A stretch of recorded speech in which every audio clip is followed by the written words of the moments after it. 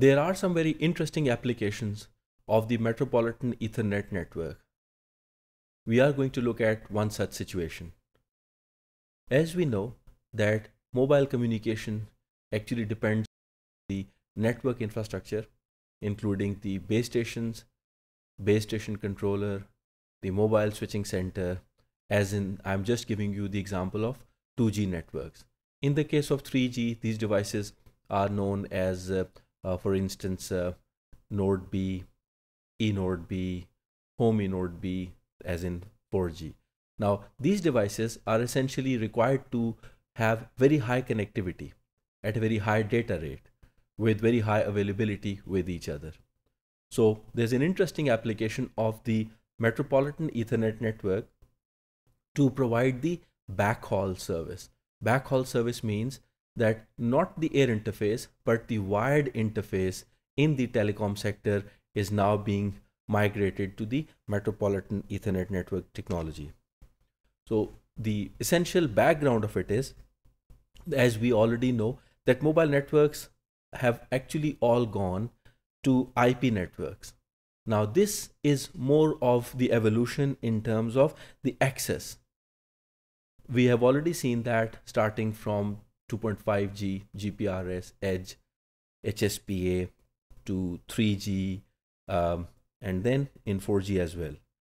However, the transmission between the network elements such as the base stations uh, and the core, such as on the access side we have uh, base station, BTS, BSC, uh, Node B as in 3G radio access network, and on the core side. The core side actually can have the radio network controller uh, or a gateway node uh, as in the 4G networks. Now, if we really want to provide very high connectivity uh, at a very high data rate with high availability, we have to think about providing this service through Metro Ethernet.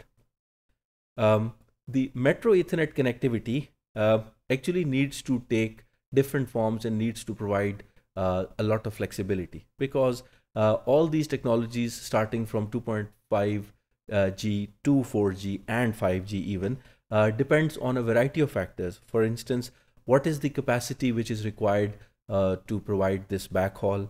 Um, what are the mobile standards like the ones, some of these that we have just uh, recapped and uh, which compatible transportation technologies are already there and how would they best fit with the Ethernet technology.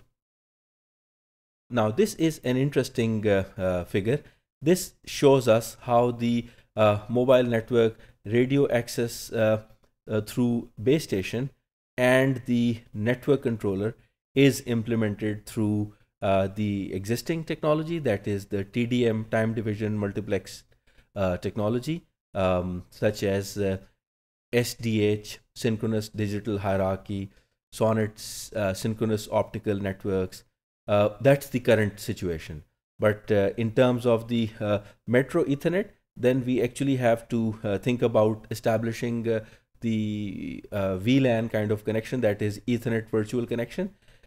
And then there are some uh, connectivity interfaces or demarcation points that we know as the user to network or the network to network interfaces.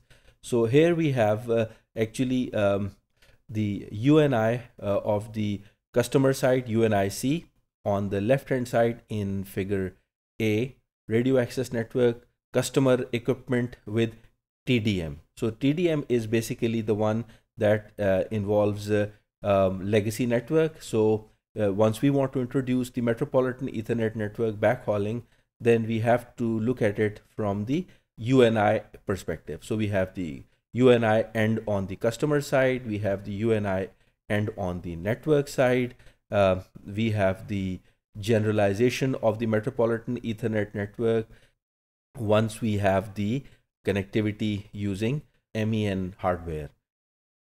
In the figure below, well, what is different from above is that here we have uh, the TDM legacy network um, that we already know, but here in the lower case, we have the extension of the uh, Metropolitan Ethernet network connectivity scope not only between the UNI of the customer side, we, we actually have uh, now deployed the uh, customer equipment and we have enabled it with uh, MEN, the Metropolitan Ethernet Network um, technology, uh, right from the um, access side, that is the uh, base station, uh, and we have directly established a link with the uh, core network uh, uh, using the more metropolitan ethernet network technology. So in in simplest terms if you want to understand it we can say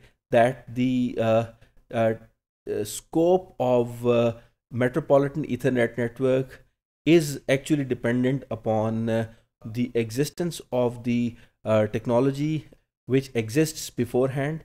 For example in the figure above we have the uh, scope which is between the UNI uh, and the NNI within the service provider. So the service provider is purely responsible for providing translation between the uh, interfaces and it has got nothing to do with the um, with the end networks that is with the uh, radio access network.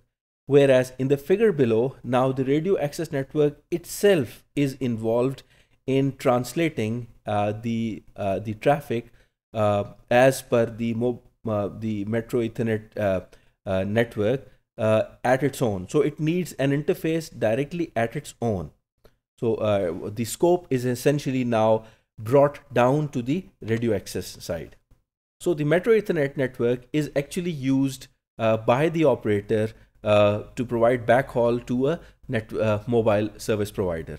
Uh, and it is done through UNI and the scoping of UNI can be the responsibility of the service provider as such in the core side or it can be done at the access side provided the radio access network equipment uh, the RAN CE is connected to mobile backhaul via the uh, interface at its own now the radio access network customer equipment is a very broad term uh, because depending upon the technology it can actually mean the radio network controller that is used in 3G uh, uh, and 4G networks the gateway used in 4G networks.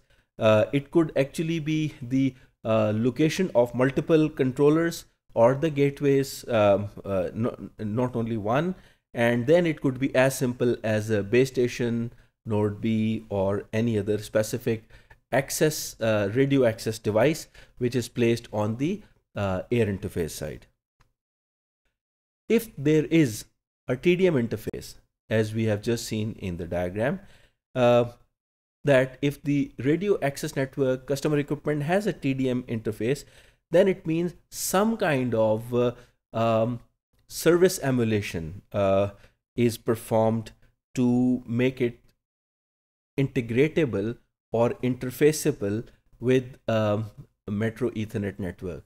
So it means that uh, uh, there are certain uh, techniques such as the um, uh, circuit emulation service or the PDH circuit, which are uh, traditional TDM technologies. So if you really want to provide um, uh, Metro Ethernet service to the uh, to the end network or to the access network, it is very important that uh, you don't have to change the interface for the end user. That is exactly what we saw in the figure above. However, if the Metro Ethernet service exists with the uh, end network that is uh, uh, at the access side, um, so the backhauling becomes uh, an all MEN affair. So if the customer equipment of the mobile operator already has the Ethernet interfaces, uh, so it will support all the functionality that we have seen Metro Ethernet network can provide, including the E-line, E-LAN, and E-tree. So, so this is the recap uh, once again. We have the figure above that is uh, regarding the TDM emulation that is required for the for the access network but in the figure below the access network already has the metro ethernet uh, network infra infrastructure so there's no such requirement for uh, tdm emulation